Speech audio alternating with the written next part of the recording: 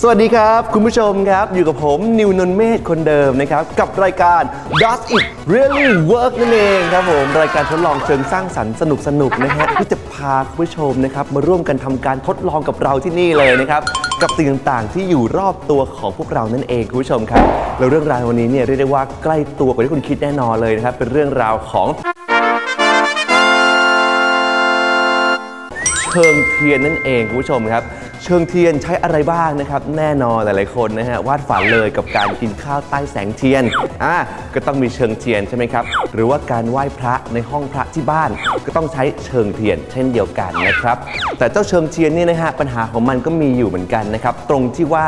ใช้ไปใช้มาใช้ไปใช้มาแล้วเนี่ยนะครับน้ำตาเทียนเนี่ยจะหยดลงมาครับแล้วก็เกาะอยู่ที่เชิงเทียนเนี่ยเป็นจำนวนมากขึ้นมากขึ้นนะครับ ยิ่งมากเท่าไหร่นะครับ การล้างการขัดการเช็ดเนี่ยทำได้ยากขึ้นเท่านั้นเลยคุณผู้ชมครับ ซึ่งวันนี้เนี่ยนิวเลยมีวิธีดีนะครับผมในการกำจัดคราบเทียนไขออกจากเชิงเทียนของคุณมาฝากกันนั่นเองนะครับจะเป็นยังไงวิธีไหนนั้นนะครับถ้าอยากรู้กันแล้วเนี่ยไปชมพร้อม ๆ กันเลยดีกว่าครับ ไปชมกันเลย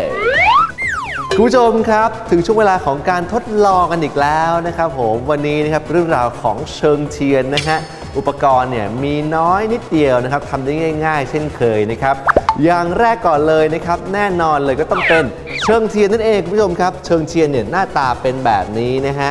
ให้เรานะครับเอาเทียนเนี่ยเอาไว้ปักใส่ลงไปแบบนี้คุณผู้ชมนี่เพื่อจุดเทียนให้มันนานๆนะครับแต่ว่าปัญหาของเชิงเทียนแบบนี้นะฮะก็มีอยู่เหมือนกันคุณผู้ชม ตรงที่ว่าใช้ไปนานๆนะครับน้ำตาเทียนเนี่ยจะค่อยๆละลายละลายลงมานะฮะและเกาะติดกับเชิงเทียนแบบนี้คุณผู้ชมครับ บางทีเนี่ยมันจะติดเกาะติดแน่นเลยนะฮะจะล้างออกเช็ดออกเนี่ยค่อนข้างยาก ต้องมานั่งขูดขูดขูดขูดขูดกันอีกโอ้โหกว่าจะหมดเนี่ยนะครับเมื่อยพอดีเสียเวลามากนะครับอะไม่เป็นไรครับผมอุปกรณ์อีกอย่างหนึ่งต่อมานะครับ นั่นก็คือน้ำเปล่านั่นเองคุณผู้ชมครับ น้ำเปล่าธรรมดาธรรมดานะครับ เตรียมมา 1กระมังแบบนี้นะครับ วิธีทำง่ายนิดเดียวคุณผู้ชมครับสำหรับการกำจัดคราบน้ำตาเทียนออกจากเชิงเทียนเนี่ยนะฮะขั้นตอนแรกนะครับเริ่มต้นด้วยการนำเอาเชิงเทียนนะฮะขึ้นมานะครับแล้วล้างไปที่น้ำสะอาดที่เราเนี่ยได้เตรียมเอาไว้แล้วนะครับ แบบนี้คุณผู้ชมครับ นี่ลงไปเลยนะครับ แล้วก็ล้างนะฮะเช็ดเท่าที่เช็ดได้นะครับ จะสังเกตได้ว่าเชิงเทียนนะครับ ผมน้ำตาเทียนเนี่ยมันจะหลุดออกค่อนข้างยากมาก เหนียวจริงๆคุณผู้ชมครับ แบบนี้นะฮะเห็นไหมสังเกตเห็นได้นะครับว่าน้ำตาเทียนนะครับถ้าเอามือไปดึงออกมาเนี่ยโอ้โหคุณผู้ชม เหนียวจริงๆหลุดออกยากมากๆเลยนะครับ แต่ไม่เป็นไรนะครับเพราะขั้นต่อไปของเราเนี่ยจะแก้ปัญหานี้ได้แน่นอนนะครับจะต้องขอย้ายสถานที่นะครับไปในห้องครัวสักแป๊บหนึ่งนะครับเพื่อใช้ตู้เย็นในการทดลองนั่นเองนะครับ ผม ถ้าอย่างนั้นเนี่ยตามผมมาห้องครัวกันเลยครับ มาเลย คุณผู้ชมครับและตอนนี้นะฮะก็ถึงแล้วนะครับห้องครัวของนิวนั่นเองนะครับผมหลังจากเมื่อสักครู่นะครับเรานำเอาเชิงเทียนเนี่ยไปล้างน้ำเปล่ามาแล้วหนึ่งรอบนะฮะตอนนี้ถึงขั้นต่อไปแล้วนะครับ นั่นก็คือเอาเชิงเทียนเนี่ยไปแช่ไว้ในตู้เย็นตรงบริเวณช่องฟรีซนั่นเองคุณผู้ชมครับแช่ไว้เลยแบบนี้นะครับผม แช่ทิ้งไว้นะครับเป็นเวลาประมาณสัก 1 ชั่วโมงเต็มๆด้วยกันนะครับผมเพื่อรอให้เทียนเนี่ยมันแข็งตัวแล้วดูว่าจะเป็นยังไงต่อนะครับ แต่ตอนนี้เนี่ยต้องรอสัก 1 ชั่วโมงนะครับแป๊บหนึ่งครับคุณผู้ชมครับและแล้วนะฮะหนึ่งชั่วโมงแห่งการรอคอยของเราก็หมดลงสักทีนะครับแหมให้รอกันนานเลยนะครับเอาว่าแล้วนะครับก็หยิบเอาเชิงเทียนออกมาจากช่องฟรีซก่อนดีกว่านะครับ แบบนี้คุณผู้ชม นี่นะครับโอ้โหผู้ชมครับ ตอนนี้นี่เรียกได้ว่าเย็นจับใจเลยนะฮะแล้วก็น้ำตาเทียนเนี่ยแข็งได้ที่แล้วนะครับ แต่จะทำอย่างไรต่อไปนั้น ต้องกลับไปยังห้องทดลองของเรากันก่อนแล้วกันนะครับ จะเป็นยังไงตามผมมาเลยครับคุณผู้ชมครับกลับมาแล้วนะครับผมหลังจากที่ไปเที่ยวห้องครัวมาเมื่อสักครู่นี้นะครับผมเอาไปแช่ช่องฟรีซมานะครับ กลับมาลองกันต่อดีกว่านะครับ ว่าหลังแช่ช่องฟรีซมาแล้วเนี่ยนะครับน้ำตาเทียนแข็งแข็งๆเนี่ยจะสามารถแกะออกได้ง่ายขึ้นจริงหรือเปล่านะครับถ้าว่าแล้วนะครับก็ลองกันเลยละกันคุณผู้ชมครับ นี่นะฮะจำได้ไหมครับก่อนแช่ช่องฟรีซนะครับโอ้โหแกะออกยากมากคุณผู้ชมครับ จะแกะออกสักทีนึงนะอื้อหือใช้แรงเท่าไหร่ก็ไม่ออกนะครับลองดูดีกว่าว่าตอนนี้จะง่ายขึ้นจริงไหมนะครับว่าแล้วก็รอเลยคุณผู้ชม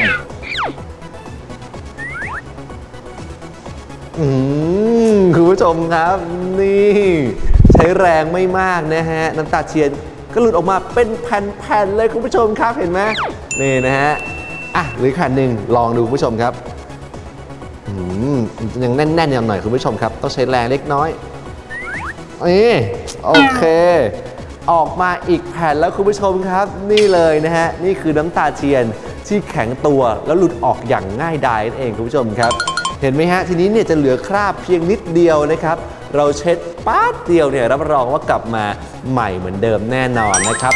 สรุปเลยละกันคุณผู้ชมครับว่าวิธีการนะครับทำความสะอาดนะฮะเจ้าคราบน้ำตาเทียนนะครับที่มันเกาะติดแน่นเกาะกรังอยู่บริเวณเชิงเทียนของเรานะครับทำได้ง่าย ๆนะครับ ผมเพียงแค่เรานะครับนำเชิงเทียนเนี่ยนะฮะเอาไปล้างในน้ำเปล่าก่อนหนึ่งรอบนะครับ จากนั้นนำขึ้นมานะครับ แล้วก็ไปแช่เอาไว้ในช่องฟรีซของตู้เย็นนะครับ สักพักหนึ่งเอาออกมาจะพบว่ามันแข็งตัวแล้วแกะได้ง่ายมาก ๆ นั่นเองครับคุณผู้ชม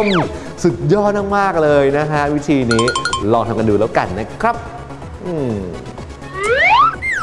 คุณผู้ชมทราบไหมครับว่าเพราะอะไรนะครับ เพียงแค่เราเนี่ยนำเจ้าเชิงเทียนของเรานะครับไปแช่เอาไว้ในช่องฟรีซในตู้เย็นเนี่ยนะครับเพียงสักแป๊บเดียวเท่านั้นเองพอออกมาปรากฏว่าโอ้โหเทียนไข่เนี่ยนะฮะ หลุดออกมาได้อย่างง่ายดายเลยนะครับ นั่นก็เพราะว่าความเย็นในช่องฟรีซนั่นเองนะครับทำให้เทียนไข่ของเรานะฮะเกิดการแข็งตัวขึ้นมาครับไม่จับตัวกันนะครับ มันก็เลยหลุดออกมาได้อย่างง่ายดายนั่นเองคุณผู้ชมครับ เห็นไหมฮะเพียงแค่นี้นะครับเชิงเทียนของคุณเนี่ยก็จะกลับมาสะอาดเหมือนใหม่ใส่ปิ้งได้อีกครั้งหนึ่งนั่นเองนะครับผมที่สำคัญนะฮะประหยัดเวลาประหยัดแรงอีกด้วยนั่นเองนะครับ คุณผู้ชมครับ แล้วกลับมาเจอกับนิวนนเมฆคนนี้ได้ใหม่นะครับ ที่นี่เลยฮะ กับรายการ Does It Really Work นั่นเองนะครับหรือคุณผู้ชมนะครับ ยังสามารถรับชมสาระดีๆ ของรายการเราเนี่ยเพิ่มเติมได้อีกมากมายเลยนะครับ ที่ www.mthai.com/liveschool นั่นเองนะครับส่วนครั้งหน้าจะมีเรื่องราวอะไรมาฝากกันนั้นนะครับ